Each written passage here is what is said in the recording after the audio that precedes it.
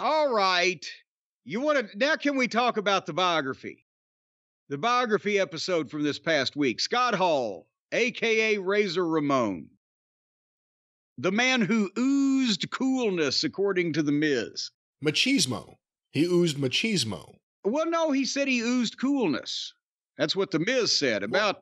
What Razor Ramon would say was that he oozed machismo. Well, at various points in his life, apparently, we've come to find out he was oozing all sorts of things. Uh, you know, here's another guy that I I didn't know that much about his personal life. I mean, obviously, we've shared uh, numerous locker rooms. I've worked uh, in in matches involving him, etc. But uh, it's not like we sat down and had long conversations. I was not part of the clique, so I didn't know about his personal life. Uh, you know, his younger days. I knew about the altercation that he had had you know when he was bouncing at the strip club that you know with the gun that the guy got shot in uh, vague or you know uh, bullet point terms Is that the kind of thing you had to report to whatever office you were working for? That you had that on your record that that had happened? um well i'm thinking i'm th- thinking thinking it, like in in the 80s no I mean, it's not like you ever any promoter ever did a background check. They figured if if this guy is fucked up bad enough that we've heard about it from wrestlers, you know, then we need to watch out. But otherwise, they never did a background check. So I'm sure when he was working in Florida, worked for Crockett, Verne, you know, whatever, uh, when it got to the early 90s WWF, I don't remember you know, at least when I was in the office, uh, uh, anybody really having a major extensive background check, but like Bam Bam Bigelow, you would have to know that guys couldn't go to Canada or whatever, right? Now in modern times, I guess they they run everything, but he wouldn't have had to just go ahead and say, "Well, Jim Crockett, yeah, Dusty's bringing me in, but I got to tell you about this thing that happened to me four years ago or whatever." Does that answer your question? That answers my question, yes. Um, and that's why I laugh when I hear some fans apply maybe modern standards or maybe stuff that's not even modern standards yet uh, to 40 years ago. Like, yeah, I was going to do a background check on a fucking job guy, right?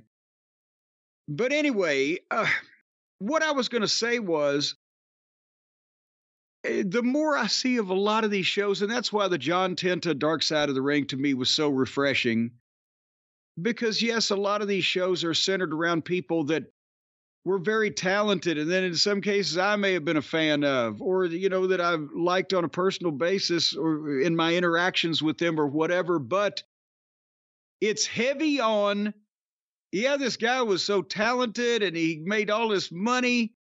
And he had the world at his feet to give him anything, but goddamn, he fucked up an epic number of times and went to rehab 14 million times and you know uh, damaged himself before his time and met a bitter end it it's it's getting fuck, maybe it's, eh, i'm starting to judge everybody because i think of fatigue and weariness over goddamn could you at any point have taken anybody's advice and help and just straightened the fuck out with all these people because that's what they always say Oh, I loved so and so. He was great. You know, eh, eh, they're, they're, and his friends are broken up about it, whoever it may be, right? Not speaking specifically here. Then listen to somebody. Jesus Christ, at some point, because most normal people, they may have the friends that are trying to help them out, but they don't have world class rehab at their disposal. They didn't get the part about the national TV stars and making you know, shit tons of money and all the pussy and whatever. They maybe just had the shit part where they lost their job and ended up in a goddamn trailer falling over the fucking recliner. So I'm thinking that maybe sometimes uh, these uh, programs overall are making a lot of the boys in the business uh, uh, make all the boys in the business look fucking goofy. Do you see what I'm saying here? Do you see where I'm? Do you smell what I'm cooking, Brian? Unfortunately, yes. No, I smell what you're. I see the direction you're going in. Let me phrase it like that. Yeah. Well, I mean, you, th- there was no lewd allusion to any kind of graphic bodily function. And do you smell what I'm cooking? You didn't need to goddamn take it anywhere else. But anyway, so that that's starting to color some of my opinions of this of the programming. But they even had they they did have uh, some stuff they shot with Hall in 2014 that has not been used, and they had his brother, which I was not aware he had one.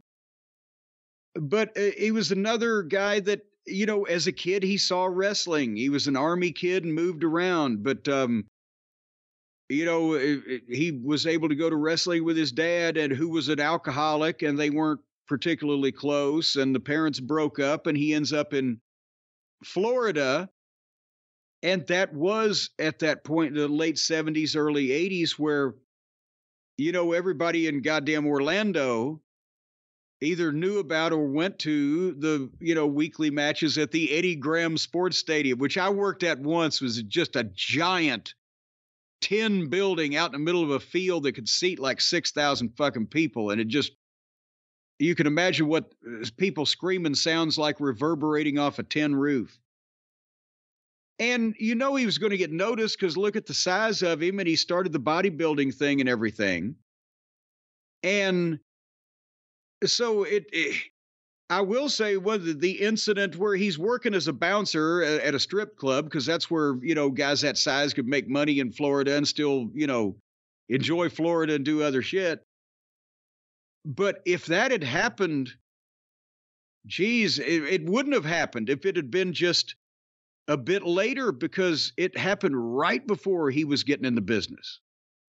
So if it had been a little bit later, he wouldn't have been there.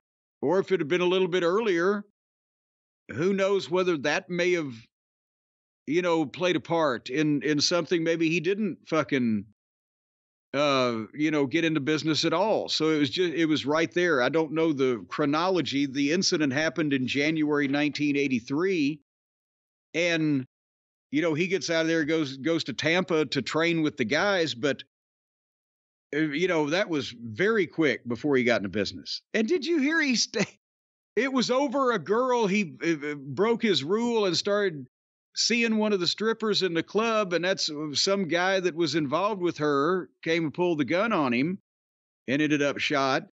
But he stayed with that girl for eight years. Would you not have made a, an immediate fucking left turn out of that uh, whole situation there, uh, young Brian Last? I mean, it depends. Uh, maybe she was a great person, and of course, he just took out the competition. Now you got nothing to worry about. Well, maybe she was a great something. I don't know. Believe she was I, great at math. It uh, well, it just don't figure. So when you hear about one of these guys that you've had, you know, good and bad things to say about over the years, and good and bad experiences with, and you probably never had a single conversation with him. I mean, you could tell me I'm wrong. No, I have had. About, you know, no, no, but about, but specifically about being kids going to wrestling or into wrestling. Oh no, no, you never think about Scott Hall, the young wrestling fan, wanting to do it. Well, you know, you can actually tell because even when they're when they're very close to each other, you never hear Nash saying, "Oh, when I was a kid, I always wanted to be a wrestler." Nash had the the brain for the psychology, but Hall was the best worker of the clique bunch at that point in time because he knew what the shit was supposed to look like and had kind of liked it from a fan standpoint. So he he got what you know fans would like and not like and how to do the shit he when he found something that he could put himself into which took a while with all those bad gimmicks. But you know that's the thing with with hall and nash and michaels and then uh, you know triple h became a part and then you know uh, each one of them individually talented guys witty guys funny guys whatever had their their moments but i think as i've said before when they were all together it brought out the worst in all of them because then they were all trying to outdo each other as far as who could be the the biggest fucking pain in the ass to work with in some cases Uh, uh, but he, but that's it. Hall tried hard. He wanted to get into business. He said he, he when he moved to Tampa, he joined like five gyms just to you know find out where the guys were working out so he could get in with them. And you know, pretty soon by what early 1985, so he's broke in, trained, had a few matches, and you know he credited Jack Lanza for who was obviously a you know a a say in the AWA at that point for bringing him to work for Verne. So that all happened in what, a year and a half? And they didn't really say it here, or if they did, I missed it. But the story always was that when Verne first saw him, he thought, this is my Hulk Hogan. Because he had yeah. just lost Hogan and he was this giant Tom Selleck looking guy.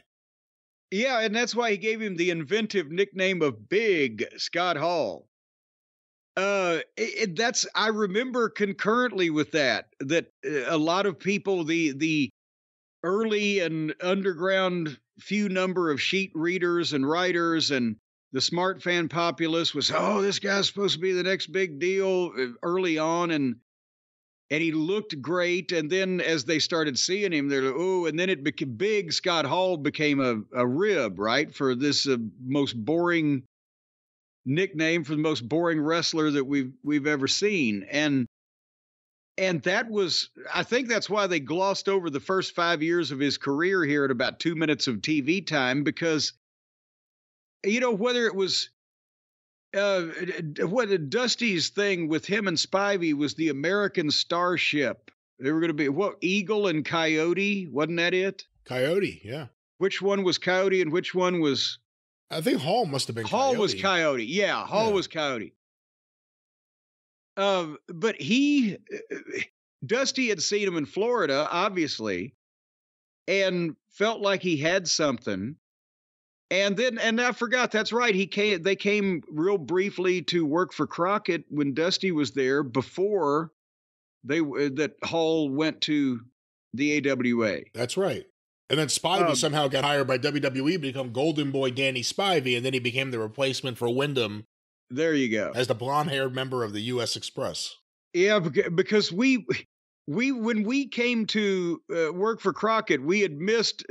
They were just introducing Spivey as Starship Eagle, and I'm like, what was what happened to Jefferson? Where's the other Starship guy? What is this? and Coyote was already gone to to Verne at that point and you know the the bad gimmicks that they gave him Hall, I mean, in WCW when when he first got there, which uh, you know he called Dallas Page, he said for help getting in, and they they come up with the George Michael look, the toothpick, the earring, the diamond stud, well, remember, he was there before that. He was there in the summer of 89. He was one of the many, many, many people that popped up. He was on the Bash pay per view. Oh, fuck, you're right. He was a crocodile hunter or something. Maybe not a hunter, but he was from the That's Everglades. Right. He was dressed up like he, Marlin Perkins.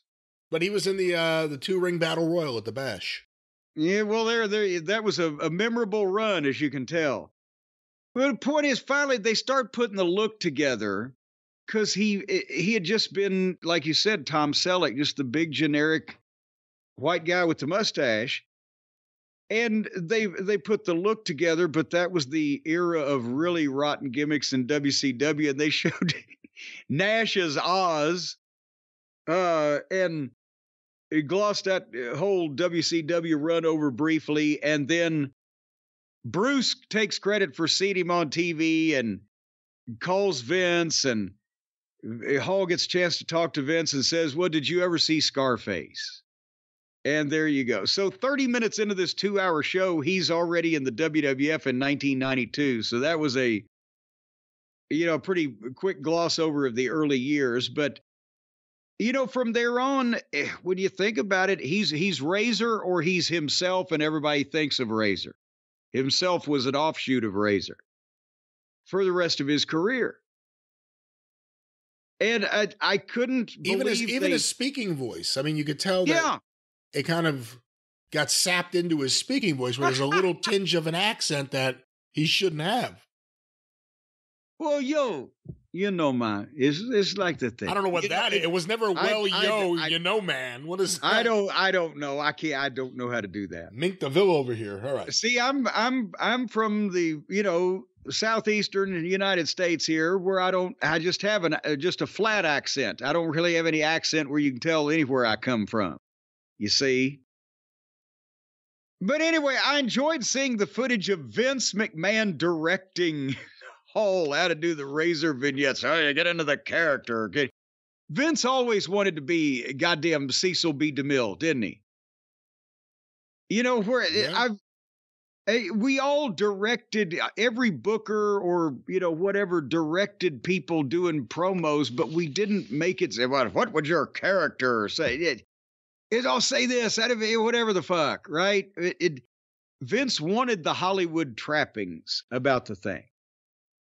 But anyway, Razor Ramon got over, and it seemed like it was a natural gimmick for him, and he he came out of it and was ever or was was you know always able to get into it and make it more palatable. Even some of the, as they mentioned at one point, the accent at first was kind of a, it was an attempt at it, but the people liked the whole package point where they were willing to overlook it. But from these programs, I wish I would never hear the word character mentioned again. I did jot that down. Um, and, and they, you know, they glossed over the, or not glossed over, but went over the high points, the match with the Lightning Kid, Sean Waltman, that made him the one, two, three kid and got him over. And, you know, the ladder match with Sean at WrestleMania 10. And, Eh, you know, it, his work in the ring, he really, for a guy that size especially, he could move and he carried that whole deal off. but then again, uh, now, but now he starts saying now that he's, you know, basically a star, he starts getting fucked up after the shows. And you had the quote from Michaels that they justified it by saying, well, we only do this when we're on the road, not when we're home. Well, they were on the road 300 days a year. And that's what his wife says. He couldn't turn it off. And he, you know, he couldn't uh, come home and be himself. And he, she wasn't happy being, you know, in that position, blah, blah, blah. And uh, Do you I think mean, more people need hobbies to look forward to, no matter what the trade is? If you're someone who's on the road, it shouldn't just be you look forward to coming home just to be home. Do you think they need things to look forward to doing? Uh, yeah. I will. I mean, yes, you always need to have things to look forward, but I always had things to look forward to doing when I came home that didn't involve, you know, uh, getting fucked up the, during my period of time when I was home. I and or, you know, uh, or coming home to. I always stayed up with wrestling, but I didn't come home to be Jim Cornette in my house. I just came home to watch me and all the other people to see if I was still better than they were. Um, but that's you know that was why he went to WCW as as, and we've covered the Hall and Nash's departure in early 1996 when they told Vince one thing to his face and then they faxed him notices and blah blah blah. But he went to WCW for guaranteed money and less dates. And obviously for a, a ridiculous amount for the time of guaranteed money that you know has been talked about before in the NWO documentaries and etc. And do the whole outsiders thing. And now, did you did you now hear Hulk say that well now Scott Hall is the one that inspired him to turn heel? Cuz here he'd transformed himself so if he can do it, is that a new story?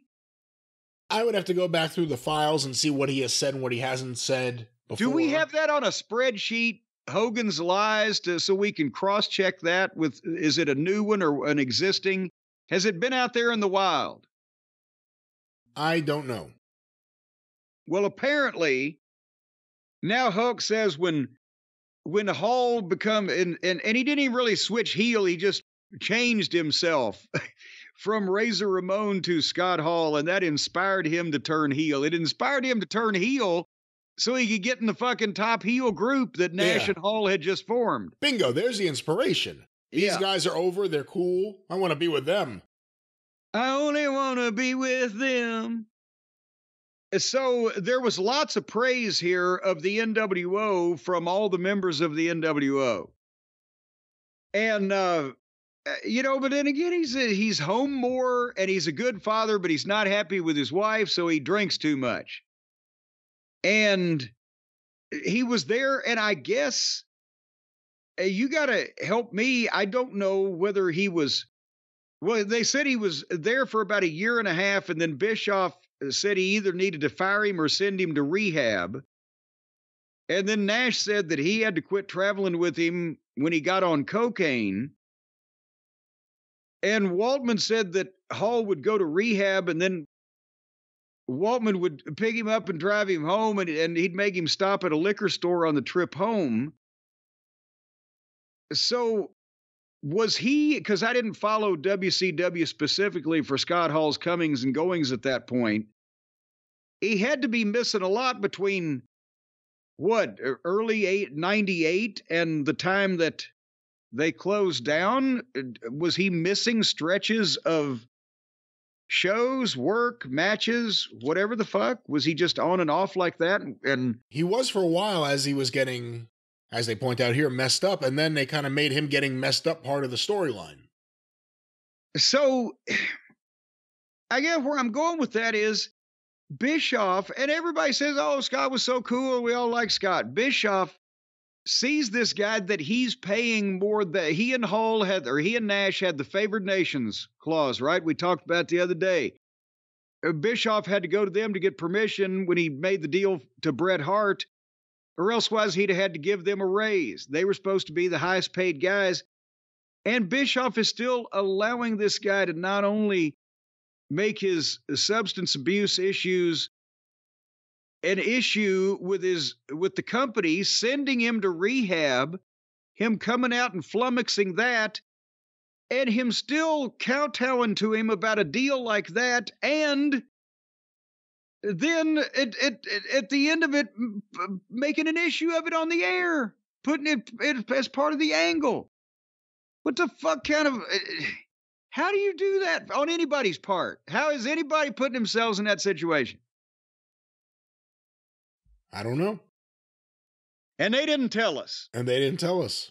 So, um, and then everybody to a person that was interviewed said that he was haunted by the shooting. He didn't mean to kill the guy. The guy was trying to kill him and they fought over the gun. So, yes, I can understand it being a disturbing incident, but they say he thought he was a bad person. He didn't deserve success. So he either wanted to act like somebody else or sabotage himself or whatever. But, at some point, holy Jiminy Christ. So was he there at the end or had he already they made some remark that he he took his ball and quit. Uh, it- it's- did they give him another rehab ultimatum and he leave before WCW closed or was he there at the end? Do we remember? He may have still been under contract at the end. I don't remember exactly. he may have but- just just been home. Yeah. Because remember, Um, Vince didn't bring them in right away. The NWO came into WWE, what, a year after WCW closed? yeah after after the bloom was off everything they could have got out of the big stars uh, invading um but you know hall goes off the the deep end with the arrests and etc and uh, that all that stuff was reported in various places and they glossed that over kind of but then when they when they returned to the WWF as you said like a year later after that they're at WrestleMania and then he gets fired. And then the multiple mug shots and his wife divorces him. And they were they had him on indie dates and you know making indie shots fucked up but they didn't even mention TNA they glossed over that which he no showed TNA a number of times. I think at one time while I was there they announced he was going to come in and do a pay-per-view and he no showed that's what led to Samoa Joe and Kevin Nash having an argument. But anyway, and then they the the footage that uh, a lot of people have seen in modern days of him in in horrible shape at this indie show where they had to help him into the ring and he tried to throw a punch and fell over and he was just all fucked up and you know the the ESPN profiled him and and they said that I think it was Stephanie said WWE had spent more money on his rehab than anybody else they'd ever sent. And but then here comes Diamond Dallas Page. And my God, the patience that he has for for this stuff. Um, and uh, uh, Hall went to Atlanta and lived with Page and cleaned up and went in the Hall of Fame. Again, that was for the for the NWO, right? In 2014. No, he went in as Razor Ramon. Oh, he went in as Razor Ramon, and then they did the the, the NWO uh, several years later. Right. Is what? Okay, thank you. But so he goes to Hall of Fame in 2014, and everybody seems to be happy. And boy, that would be a great place to to end it. And then apparently still in modern days, they said when COVID hit, well, that was 2020. He said that he, he couldn't handle sitting home alone. I I can't fathom the day that I would ever be unhappy sitting home alone. I'm not wired that way. That would that would be my Milton's version of paradise. Um but anyway, it, it, so they said by the time they went in the Hall of Fame, so it was 2021. I wrote this down. For the NWO, he was like passing out there and fucked up. And then you know, uh, the next year fell in his house and broke his hip and uh, in the hospital had the heart attacks and and etc. And you know, again, all of his friends just loved him to death. Hogan was the only one that seemed as if he was acting dramatically and dabbing a fake fucking crocodile tear. Everybody else was legitimate. That they loved him and you just wonder why people that have, you know, opportunities beyond that of most mortal men can't ever, in a lot of cases, get their shit together. Very talented guy. I was lucky to see him. And, you know, he came in, he got a big push. Razor Ramon came in, he wasn't just some mid card guy. They put him right into something with Randy Savage. They had him teaming up with Ric Flair. He was in the main event picture right away. And then early the next year, he was one of the stars of the early days of Raw. And the big Sean Waltman match, he wasn't the Lightning Kid, he was just the kid. They ran through a series of well, names. But, but you know what? Did you did you see that he still had his Lightning Kid tights? So he had a lightning bolt with Kid underneath it. L right? Kid. L yeah, L Kid. But uh no, that was a big moment, and that was a big feud. And Razor Ramon was one of the highlights of WWE while he was there. I mean, even to the very end, I know he hated the Goldberg, uh, not Goldberg, the uh, Goldust stuff.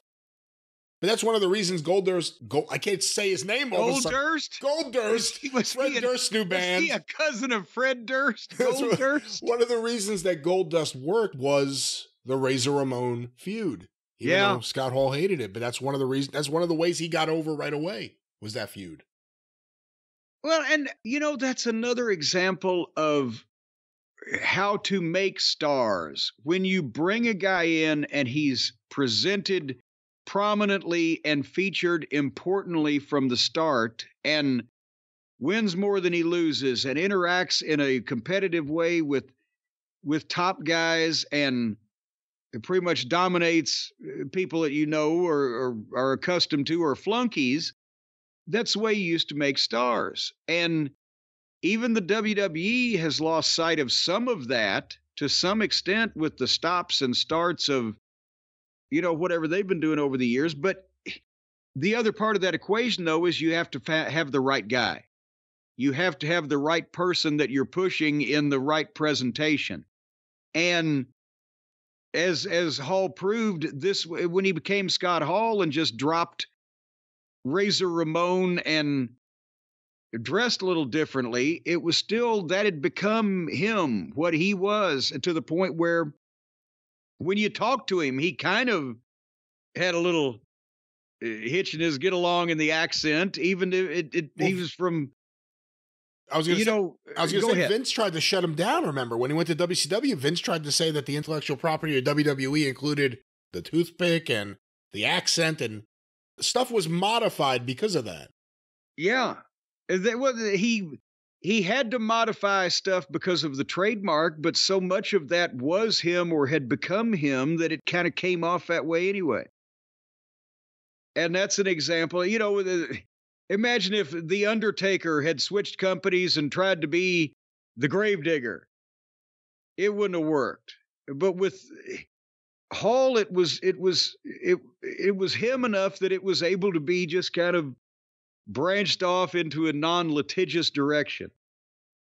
But then the, the that's the problem is he would have uh, so he was young when he got into business in the early 80s he was in his early 20s so fuck by the time that 2002 came around his major league career was i mean they they tried to bring him back a time or two and he went TNA and he did this and that but you know he only got less than 10 years at the absolute top of the business and was still young when he self destructed and would have been a commodity for another 10 years at least. He Hall in 2011 when he was being helped to the ring by people because he was so fucked up at an indie show in front of 200 people was was he 50 years old at that point or just barely there's guys on TV right now making uh, seven figures a year that are 50